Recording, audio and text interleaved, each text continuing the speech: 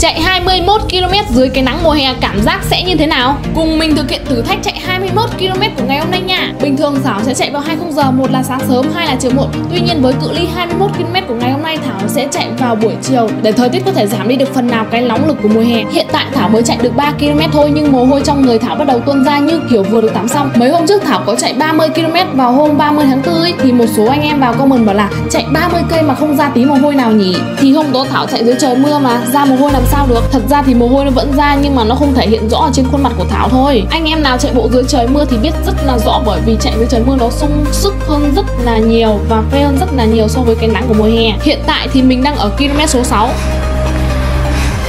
Bây giờ mình đi được có 6 cây Ok, chạy tiếp thôi trong đầu Thảo lúc này đang nghĩ là bây giờ mới chạy được 6 km đầu tiên thôi thì không biết khi nào mới chạy được hoàn thành xong cự ly 21 km.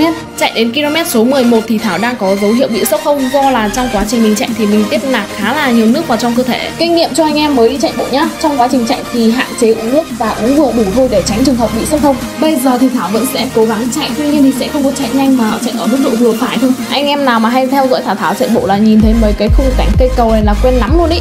Và hiện tại thì Thảo đang chạy sang tới thị trấn rồi. Nhà Thảo mà gần ở khu này là ngày nào mình cũng ra đây mình chạy bộ luôn á.